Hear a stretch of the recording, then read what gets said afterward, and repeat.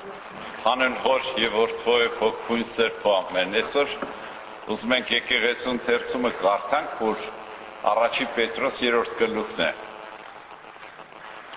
Նմանապես կանայք հնազանդ պետք է լինեն իրենց այրերին, որպես թե ոմանք խոսքի հնազանդ չլինեն,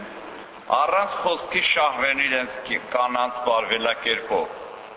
Տեսնելով նրանց երկյուղած ու պարկեշտ բարքը,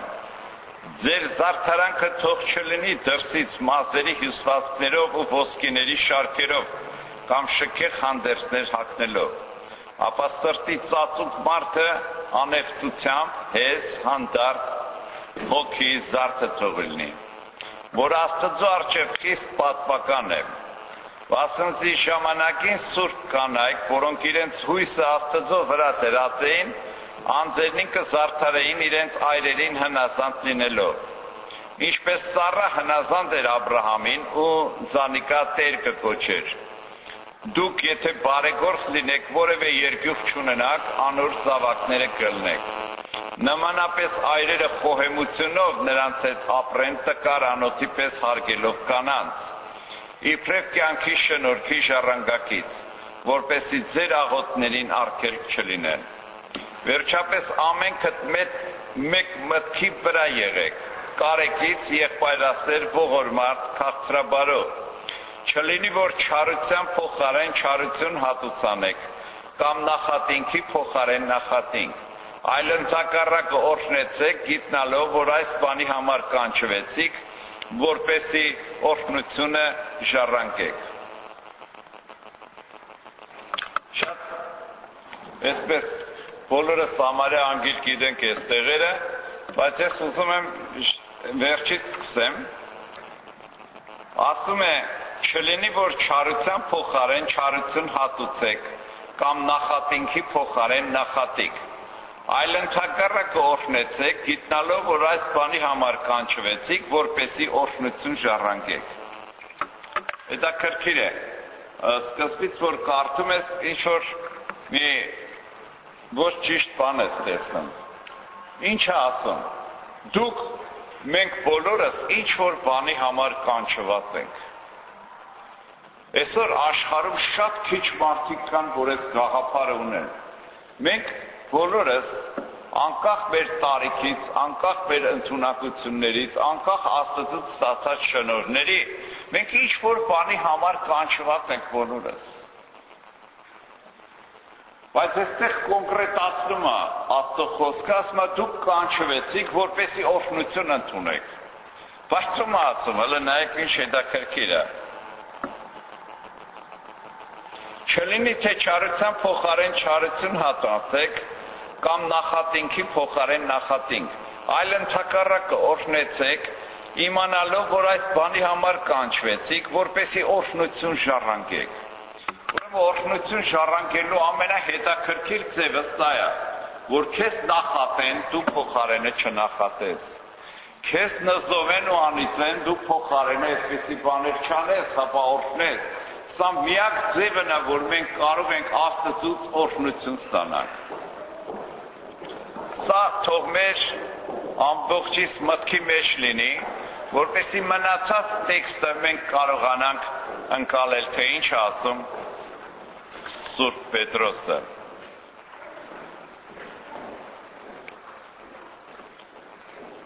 Այստեղ խոսում է ընտանիքի մասին։ Հիմա էլ որ դուք Հայաստանում կամ ուրիշ տեղեր գնաք, գրեթե նույնն է այտենց բռնապետական երկրներում, որ քրիստոնեական ընկալում չունեն, այս մարդիկ մտածում են կնիկ են առե, ոնց որ գարդերոբը կամ տան վեշերը, այդ կնգան կարան շահագործեն, ճնշեն, ինչ ուզեն անեն։ Եվ շատ ընտանիքներ այսօր մենք տեսնում ենք, որ բավականին վատար վիճակի մեջ են։ Բայց այստեղ Պետրոս Արաքյալը մեզ առաջ մեր առաջ դնում է պարտականության եւ իրավունքի զգացումներ։ Ճիշտ ասեմ, այդ ժամանակ հռոմեական կայսրությունը, որ հունական մշակույթն էր, ժառանգել նույն ընկալումներն ունեին սրանք։ Սրանք նույն ձևի ընկալումներ ունեին։ Ուրեմն երբ որ կանանցից բաժանվում էին, միակ բանը, որ տղամարդը պարտավոր էր անելու, այդ օշիտ կոչվածի փողը դիտար կնոջը ու ճամփու դներ։ Երեխա բան, ասես բաներ ոչ մի բան չկար։ Բայց այստեղ Պետրոս Սարաքյալը խոսում է փոխադարձ պարտականությունների զգացմունքի մասին, որը շատ մեծ հեղաշրջող ազդեցություն ունեցավ ժամանակակից աշխարհի մեջ։ Ինչ ասում։ Ասում է հնարավոր է որ կինը հավատացյալ լինի, անկեղծ լինի։ Եվ այս կինը քրիստոնյան է։ Եվ ամուսինը ոչ։ Մի լուծում է տալի առաքյալը, ասում. Է միակ լուծումը էսա որ դուք կարողանաք լուր մնալով զսպելով ձեր բերանը ձեր վարմունքով քարոզեք դու գիտեք որ տղամարդիկ մեծ մասը ինչ որ ասում է սխալ է զգալի Ես կինը չպետք է սխալի մասին ամուսնուն բացատրի կամ հասկացնի, ապա խոնարհվելով պիտի ցույց տա, որ ամուսինը սխալ է անում, ճիշտ չի անում։ Սա շատ լուրջ հարց է։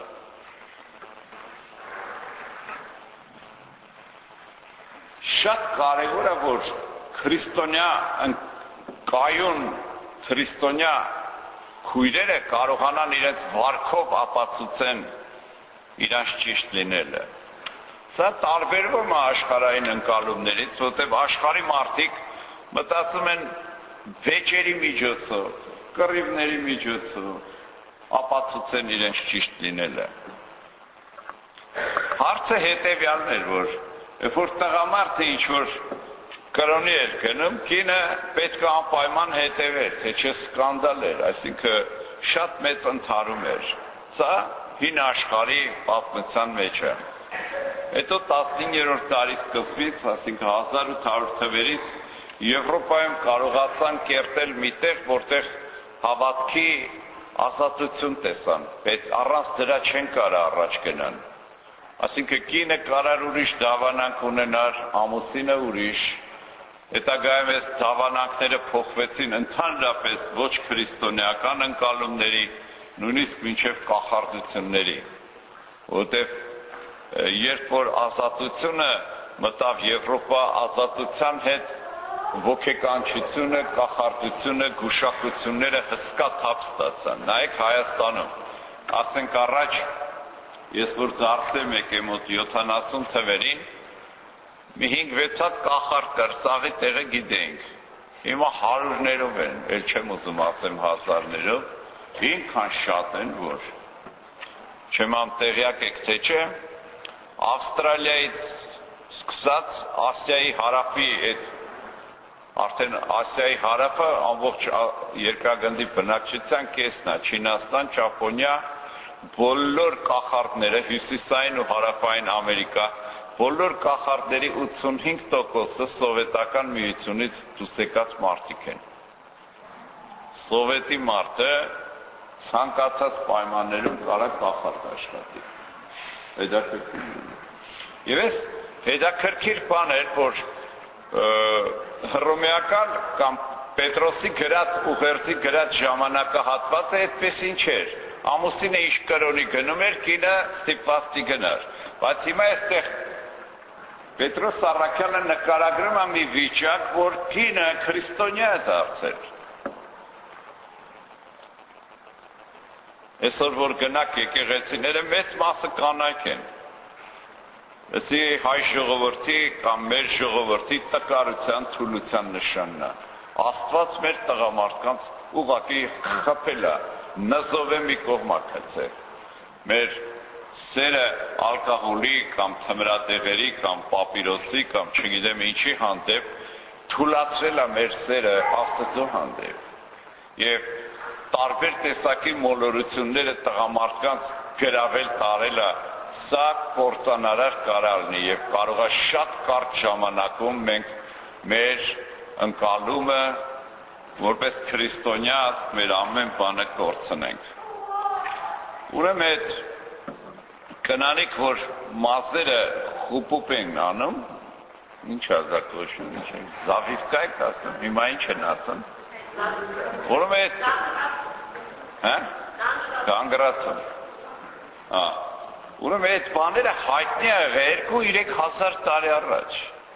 մարդիկ մազերը սենց էին, մեկը գար գանգուր մազերները, որ սա շատ հայտնի բան է եղել։ Մենակ առաջ այդ փոշին, որ ցանել են, որ պալպալա,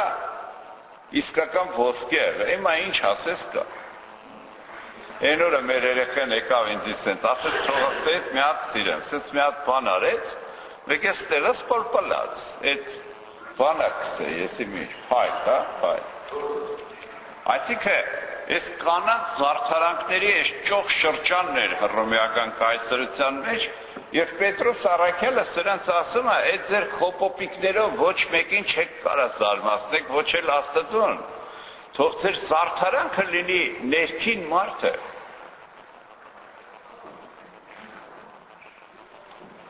Շատ դժվար է սա։ Օրինակ շատ հեշտ է, որ մենք խոսում ենք դարձի գալուց, ապաշխարելուց, մենք խոսում ենք Քրիստոսին հավատալուց, բայց շատ ավելի բարդ բան է, որ այդ խոսացածներս մենք պետք է կյանքում կիրառենք։ Այդ ժամանակ մենք մեր արժեք ծառանում են բարդույթների համակարգ։ Նախ այդ բարդույթները մեր սրտի մեջ են, մեր կյանքի մեջ, չէ։ Երկրորդ, այդ բարդույթները դրսում են, որտեղ մենք շատ կարող ենք նեղացնել սատանային ու նրա գործակիցներին, երբ որ ապրենք սուրբ եւ արդար մի կյանքով։ Բայց Պետրոս առաքյալն ասում է. կանայք թող սովորեն ներքին մարդը, ներքին կարգ ու կանոնը զարգացնեն իրենց կյանքի մեջ։ Ես այսօր մի ժամ շուտ է եկել։ Ասի մի հատ նայեմ ես մեր գրքերի Ոչ ես տեղանում։ Տեսա սաղ փոշու մեջ კი կորածել։ Եվ փոշին այնքան հաստ էր, որ թրջեցի, այդ շորը սրբեցի, էլի չանցավ։ Այսինքն, երբ որ մենք ներսը մեր կարգ ու կանոն լինի, կարգ ու կանոն, այս կարգ ու կանոնը արտաքին բանով ի հայտ է գալի։ Մենք արտաքինը կարանք ի հայտ բերենք ոնց որ թատրոն, արտիստիկ բաներով, օրինակ ճիշտ եմ խոսում, լավ եմ խոսում, ասես խոսելու ծրփի կերպարանք եմ առնում, աղոթելու սնենց եմ անում, ոնց որ թե հիմա Աստված իջելա մոտս, հա? Գիտեք այս բաները, սաղս գիտենք, բայց սա ներքին մարդը չի։ Երբ որ մարդու հետ երկար է շփվում, այդ մարդու ներքին հատկանիշներն են ի հայտ գալի։ Եվ Պետրոս Սարաքյանը այսօր շատ խորը մի հատ բան ասում ասում դուք հատուկ աստծո կողմից կանչված եք որպեսի օրհնություն շարժանքեք Եվ այս օրհնությունը շարժանքելու միակ ձևը սա է որ մեզ թշնամի եղող մարդկանց մեզ անարգող մարդկանց մենք կարողանանք ոչ թե անարգել ոչ թե թշնամական լուտանքի խոսքեր ասել ապա այդ մարդկանց կարողանանք օրհնենք միակ ձևը որ մենք օրհնություն կարող ենք ստանալ սա է Այս վերջերս այս հարցերի մասին եղբարակցությունում շատ ենք խոսում, նույնիսկ մեր որ կայքը նայեք, ինտերնետային կայքը մեծ մասը ընտանիքի մասին քարոզներն են։ Ինչ է եղել։ Մենք ճամփից դուրս ենք եկել։ Այս վերջերս էլ է այդ գնացքները իրար կապեցին, չէ՞, ինչքան կատաստրոֆաներ առնում աշխարհում։ Եվ դրանց վիճակը ինչ է, ինքը ճիշտ ճանապարհը պիտի գնա, ուրիշ ճանապարհով է գնում։ Եվ բախումներ առաջանում։ Մեր մեծ եղբայրները մեզ երկու բան են սովորացնում, որ քրիստոնեության մեջ պարտադիր է։ Առաջինը սա է, որ մենք պիտի աղոթենք Եվ ասում էին աղոթքը գնացքի քաշով վագոնի զորությունը ոնց որ լինի։ Ասենք շոկեքարշը կամ էլեկտրոքարշը, սրանք զորություն ամեն վագոն թողես չի գնա։ Վագոններից մեկը կամ երկուսը քաշով են։ Սրանք քաշում եւ իրենց հետևից մնացածը տանում են։ Սա շատ էական է։ Եվ այս բանը մենք կարող ենք ձեռք բերել աղոթքի միջոցով Եվ այս գնացքի երկրորդ գաղտնիքը ի՞նչը, որ ինքը ուղիղ ռելսի վրա է։ Եթե մենք այսօր այդ ռելսը կարանք համեմատենք Աստծո խոսքի հետ, Եվ դուք նայեք ուշադիր, քրիստոնյաները, որ այդ ռելսից դուրս են ընկնում Աստծո խոսքի ճշմարտությունից, չգիտես թե ուր են հայտնվում։ Մեծ մասը իրանց տեղում բուքսավատ են անում։ Անընդհատ նույն տեղը եւ իրանց այդ սենց կրկեսում բաներ կային, չէ՞, սենց անիրներ կային, այդ նապաստակը, սկյուրիկը վազում են, հա, իրանց թվում է միլիոն կիլոմետր են անցել, բայց տեղում են, այդպես պատատվում են։ Մենք կարող է մեզ շատ բաներ է թվում, լավ բաներ, վատ բաներ, բայց մենք կարող ենք զուտ տեղում պատտվող բաներ լինենք։ Հետաքրքիր է, որ Պետրոս Առաքյալը առաջի անգամ տղամարդկանց արչև պարտականությունը տավի։ Նույնիսկ հռոմեական կայսրության մեջ օրենքներ կար, Երբ որ կինը շատ ված բաներ անում, հանում ու սպանում էին եւ դա չկար։ Ապացույց էր պետք այդ մարդունը տենց հա թված է, կարա հիվանդ է լինի, ոնց որ այսօր շատ տղամարդիկ գիտեք, հիվանդակին այդպես մտքին ունեն, բաժանվում են բան, բայց հայտարակ վիճակը։ Եվ հարցը սա է, որ նրանց դատ ու դատաստան չկար, բայց Սուրբ Պետրոսը այսօր բարոյական չափանիշներ է դնում նաև տղամարդկանց համար, ինչ ասեմ, հիշում եք, խոհեմ լինեն, խոհեմությամբ նրանց հետ ապրեն, կնոջը վերաբերվեն որպես տկար անոտ, հարգելով կանանց, իբրև կյանքի շնորհքի ժառանգակիցներ։ Մեր կաթողիկոսներից Քրիմյան հայրիկը շատ հետաքրքիր բան է ասում։ Այդ ժամանակ գիտեք Հայաստանը թուրքերի մտածողություն իսլամական ընկալում ունի։ Մինչև հիմա էլ մեր տղամարդիկը տենց են դժբախտաբար մեծ մասը ոնց որ իսլամից վերցրած կոպիա առած քսերոքսն են օրինակ եթե ուշադրություն եք դարձրել տղամարդիկ առանձին են նստում թաղման սեղանին կամ հարսանիքին, կանայք առանձին, ասում եմ քեկը տենց անում, ասում եմ որ չխանգարենք իրար։ Կնիկը կարող է ասի այ մարդ, համը հանիր ենք հասկանիր, չէ։ Ուրեմն, իվես բարդույթները տեսեք խոհեմությամբ պետք վարվեն եւ այս շատ կարեւոր պարտականությունա տղամարդկանց հետ Մենք մի հատ ծանոթ ունենք, այս կինը շատ-շատ խելոք էր, քան ոնց որ բնության մեջ պետք է լինի։ Ասենք դժվար է, այնց շատ խելացի կինը ճիշտ ընտանիք կազմի, հանճարեղ կին էր։ Իսկապես այնց հազվագյուտ մարդ էր։ Ես Սրանք արդեն հասել էին մի մակարդակի, որ անպայման պիտի բաժանվեին։ Ես ես կնոջ ասի արի մի օր նստենք խոսանք, քրիստոնյա էր, աղոտների գալիս էր։ Ես ասի քեզ մի հատ բան ասեմ։ Աստված մեզ չի ասե ապոշի կերպար առեք։ Եթե ընտանիքում ինչ որ հարց եք լուծում, այդ ընտանիքը ասենք, ես ու կինս ենք։ Եվ մենք այդ հարցը քննում ենք Կինս մի բան ասում, ես մի բան։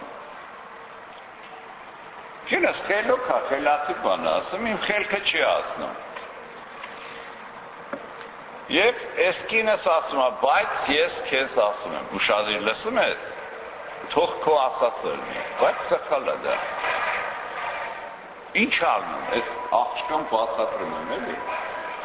Ասի անցնում է որոշ ժամանակ, այդ մարդը իր ասածը անում է, տենում է, որ ինքը չի հասկացել այդ հարցը, խորունկ չի եւ կինը ճիշտ էր։ Դու իրան չպետք է ասես, տեսար, ես քեզ ասում եմ այսպես։ Լուր մնաս ինչ անում։ Ամուսնուց աչքին քո հեղինակությունը շատ-շատ բարձանում է։ Հրամար ասма կանայք թող սովորեն լուր մնալ։ Ուրեմն բնականից կանանց մեջ լուր մնալու խասյատ սովորություն չկա։ Ուրեմն էսի կյանքի ընթացքում պետք է սովորեն եւ պետք է կարողանան այս ծևի ընտանիքը նոմա շատ ներդաշնակ ու գեղեցիկ։ Եվ հետաքրքիր է որ ասում է այնպես թող ապրեն ոնց որ Աբ รา համն ու Սարան։ Եվ այս Սարան Աբրահամին Տեր էր անվանում, ռուսերեն որ ասում են Գասպատին, այսինքն Տեր էր անվանում, եւ այս ձևի հնասանցում էր։ Այսօր մենք ապրում ենք մի դարաշրջան, այս մի 30-40 տարի է Հայաստանում մոտ 25 տարի է։ Այս դարաշրջանը կոչվում է սեկուլյար, անկրոն դարաշրջան առաջ ասում էին ամոթ չես անում, օրինակ ես 6 տարեկան 6-րդ դասանում ծխում էի, այս այսօրվա երաշտական դպրոցի 66 դպրոցի դիմացը ծառեր էին, ես այդ ժամանակ չէի գանում որ ծխելը վատ բան է, չէի իմանում որ ամոթ է Նա տղաք համագից խփեց, ասեց ամոթ չես անում, ծխես, ծխում ես։ Ես ինքան ամաչեցի, կարմրեցի, այդ օրվանից չծխեցի։ Որտեվ հասարակարգը, որտեղ մենք ապրում ենք, ամոթի, թասիբի, նամուսի հասարակարգ էր, եւ այդ հասարակարգը ինքը որոշ մեղքեր զսպված պահում էր։ Բայց երբ որ ազատությունը եկավ, ռուժիլի նմանը ձգված զսպանակի նման այդ մեղքերը դուրս ցածկեցին, մենք մտածեցինք ինչ որ անենք լավ է։ Եվ սա ավելի մեզ ծայրահեղության տարավ, եւ քրիստոնեական արժեքները մեր մեջ զսպաշապիկի նման չէին, որ կարողանային մեզ զսպել։ Այսօրվա հասարակարգը շատ բարդ է քրիստոնեական արժանինքները կանանց եւ տղամարդկանց հավասարություն տվեցին որպես մարդու Եվ այս բանը ասեց շատ կանանց վրա։ Այսօր այս տղամարդիկ մի քիչ խոնարհվում են, հնազանդվում են, դիմացինը լսում ես, հա? Դիմացինը ուզում է շահագործի այդ խոնարհությունը։ Սա հայտնի բան է այսօր։ Եվ այս վիճակներում, այս վիճակներում մենք վարդույթների առաջ ենք կանգնում, որոնք չենք կարողանում հաղթահարել։ Երեք մեր եղբայրներից մեկը հերու գյուղերից եկել էին, մի հատ դեպ պատմեցին։ Ասին մամաները մեր գյուղում, որ աղջիկներին ճամփու են տնում, ամուսնացնում են, աղջիկ չան ասում, ես ստեղ կանգնած եմ։ Վատ կլնի կգաս։ Ինչ ինչ բան։ Ահմակություն։ Բայց ված կլնի, լավ կլնի, նախորդ նստեք մտածեք, ես ինչ հորդոր ես անում։ Եվ այդ կինը երկու աղջիկներին ամուսնացած վերել նստածր է իրա կողքը, ասմա թո մռմռան դրանց ամուսինները։ Կարող է չմռմռան։ Այս ուղեղը, այս մտածողության այս որակը, երբ որ կնոջը սովորացնում են ընտանիքում քո դիրքը դիր, Ու ասածը թողորեն կլնի։ Ինչ ալնելու։ Սա ավետարանով չի, ես չգիտեմ, շատ ված բաներ կարալնի։ Եվ ես ամուսինը կարավ միշտ իր հայացքը դուրսը մնա, նախանձի մարդկանց, որոնց կանայք հնազանդ ու խոնար է։ Սա շատ լուրջ քրիստոնեական արժեքներ են։ Եվ այսօր երբ որ մենք մանրամասը ուսումնասիրեցինք ընտանիքները, մեր հայրերի մոտ քցանք այդ բանը։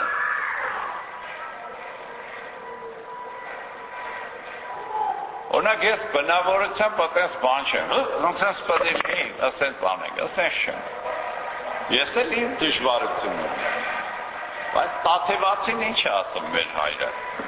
Ասում է, այդ ընտանիքում ամուսինը պետք է թակավորը լինի, ղեկավար օրինակ մենք երբեմն մեր նախագահային թակավոր ենք ասում, որը շատ սխալ բան է։ Իրա ոչ պապնա թակավոր է, ոչ էլ բերը։ Տեսեք, օրինակ նայենք մարդկա, որ այնց աշկը կուշտ մարդիկ են, էլի։ Այս մարդկա ինչքան միլիարդ կուտակի էլի քասի բուսոված է։ Բարանք չկա։ Եվ այս շատ հետաքրքիր է, շատ հետաքրքիր է, որ այս բնավորությունը, որ աթևացին ասում է դու թակավոր երի, էսի տղամարդուն է ասում։ Այսօր տղամարդիկս ինչ են անում, ես էլ մեջ եմ։ Մենք լավից պատից քիչ թե շատ փող ենք աշխատում, տալիս ենք մեր կնոջը պատասխանատվությունից փախնում, ասում ենք դու շեֆ ես, ցավը տանեմ։ Եվ այդ կինը տարապում է։ ինքը ուզում է որ իր գլխին թակավորն է, այս թակավոր որ դուրս ճարի։ Սա շատ կարևոր հարց է։ Բայց ավետարանում Պետրոս Արաքյալը որ գրում է, ասում է, թե կանայք կարողանան պայմեն, հասկանան, գիտակցեն, Աստծո հոգիով քայլեն։ Եվ այս Աստծո հոգին նրանց այնպես մի տեղ տանի, որ կարողանան հասկանան, որ խոնարհությունով կարող են ամուսնուն ապրեցնեն իր պաշտոնի վրա, իր ունեցած պատասխանատվության վերահաստատման համար ապրեն, հաղթանակ պիտի տանեն Սա շատ էական հատկանիշ է։ Եվ Պետրոս Սարակյալը կամ եկեղեցին այսօր այս բանը կարդալուց մեզ հիշացնում է շատ էական մի կետ։ Դուք կանչվել եք ամեն մեկը մի մեծ գործի համար։ Եվ այս ամենամեծ գործը այն է, որ դուք աստվածային օրհնություններ ընդունեք։ Աստվածային օրհնություններ ընդունելու միակ ձևը սա է, որ մեզ անարգողներին, մեզ անիծողներին մենք օշնենք։ Երկրորդ, որ մեր պարտականությունները գիտակցելով սիրով կատարենք։ Ես եթե հուսահատվեմ, ասեմ վերջ, օշնությունը չեմ ընդունելու։ Աստվածից գործառնույթ է տվել, ֆունկցիա տվել, ինձ համար որոշել է համապատասխան մի միջավայր, որտեղ ես կարող եմ ապրել ու Աստծուն փառքը բերել։ Եվ եթե ես խոնարհվեմ, Աստված ինձ պիտի կենթանացնի, օգնի եւ օգտագործի։ Մի հատ էլ կարդամ ու ավարտենք։ Նմանապես կանայք հնազանդ պետք է լինեն իրենց այրերին, որպեսի եթե ոմանք խոսքին հնազանդ չլինեն էլ առանց խոսքի շահվեն իրենց կանանց վարվելակերպով տեսնելով դրանց երկյուղած ու պարկեշտ վարքը Պողոս Արաքյալը հիշում եք, ասում է թող կնանիկ վախենան իրենց ամուսիններից, որպես թե Աստծուց։ Հա? Բարձրանը Քանի որ մարդը նենց է սարկած, որ ամեն մարդ մտածում է ինքը հանճար է, հա, խելացի է, ասեն չեն կարող վախենալ։ Առավել եւս քրիստոնյաները։ Ձեր զարդարանքը թող չլինի դրսից մազերի հյուսվածքներ, ոսկիների շարք կամ շքեղ հանդերձներ, ապա սրտի ծածուկ մարդը անեղծությունով հես հանդարտ հոգի զարդը թող լինի։ Տեսնում եք, Ուրեմն մարդու մարդու հոգին կարած վարդավի, ներքին մարդը շատ էական մի հատած կա։ Որովհետև ժամանակին սուրբ կանայք, որոնք իրենց հույսը Աստծո վրա են դրել, անձերին զարթարեին, կզարթարեին իրենց այրերին հնազանդ լինելով։ Ինչպես Սառան հնազանդ էր Աբ รา համին, նրան Տեր էր կոչում։ Դուք եթե բարեգործ լինելով որևէ երկյուղ չունենաք, նրա զավակները կլինեք։ Նմանապես տղամարդիկ խոհեմությունով նրանց հետ ապրեն տկար անոթի պես հարգելով կանանց, իբրև կյանքի շնորհքի ժառանգակից, որպեսի ձեր աղոտներին արգելք չլինի։ Ուրեմն եթե այս կարևոր հանգամանքը մենք բաց ենք թողնելու, եթե այս ներդաշնակությունը ընտանիքի մեջ չլինի, աղոտքները մեր առաստաղի տենկոմ չեն գնա։ Եթե ես չեմ կարողանում իմ ընտանիքի մեջ Աստծո թակավորության օրենքները հաստատել, մեր ապրած կյանքը դատարկ, քուչ եւ անիմաստ կարող է լինել։ Վերջապես ամենքդ մեկ մտքի վրա եղեք։ Կարեկից եղբայրացել ողորմած հաղթրապարը։ Շատ դժվար է որ մարդիկ նույն միտք ունենան։ Այդ օրինակ հիմա ընտրությունն է, չէ՞։ Մարդը դժվար է ընտրում, ում ընտրես։ Էսի արդեն քանի 100 տարի խափում է, էլի 50 տարի է խափում, էլի 30, էլի 10։ Այն մարդը ծնված օրվանից խափում է։ Ու երբ որ մենք հանգարց վստահ չլնենք մեր սրտի մեջ ընտրենք, ինչ ենք անում սուտ վկայություն ենք տալի եւ Աստված մեզի ականջներիցս բռնելու է ու տատի։ Ինչ կան։ Տեսեք ինչքան կարևոր է։ Ուրեմն մարդիկ պետք է մեկ մտքի վրա լինեն։ Եվ այս մտքի մեջ միակ գաղափար կա Հիսուս Քրիստոսը։ Եվ այս Հիսուսի մասին, տեսեք, տարբեր հարցերում մենք կարանք տարբեր գաղափարներ ունենանք։ Բայց Հիսուս Քրիստոսի մասին մենք պետք է միշտ մեկ գաղափար ունենանք։ Մեկ Տեր, մեկ Աստված Հիսուս Քրիստոս։ Բայց մարդկանց հանդեպ մեր կարծիքը միշտ մեկ պիտի լինի. Կարեկից եղբայրասեր ողորմած քաղցրաբարով եւ այստեղ քրիստոնեական հիմնական սկզբունքն է չլինի որ չարության փոխարեն չարություն հատուցեք նախատինքի փոխարեն նախատինք այլ ընդհակառակը օրհնեցեք իմանալով որ այս բանի համար կանչվեցիք որպեսի օրհնությունը ժառանգեք եւ հաջորդը արդեն Սուրբ Պետրոսը խոսում է մեր բլբլիկների մասին։ Ասում է հավիտենական կյանքը ժառանգելու ամենալավ ձևն է նա, որ ձեր լեզուն կարողանաք ուրեմն սանձել։ Տերը թող օրհնի ամենքիս։ Առաքյալի այս խորտորին անկեղծ ձևով հավատալու վստահելու շնորհ բարքեմի։